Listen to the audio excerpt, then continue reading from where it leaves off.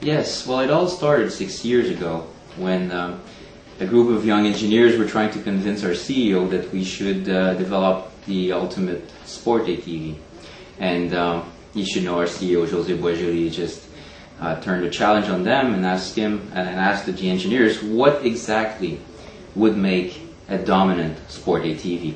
So the engineers scratched their head and said, well, there's basically four things that we would be looking for. It's the lowest weight possible, the most power, the weight should be the most mass centralized, the most centralized around the center of gravity, and the last one is to have the lowest unsprung weight so that the suspension really follows the terrain very well. So Jose listened to that and just said, well, if you can design a bike that meets all those four challenges and you're dominant over and above anything that's on the market on each of those objectives, you've got a project. Otherwise, you just don't.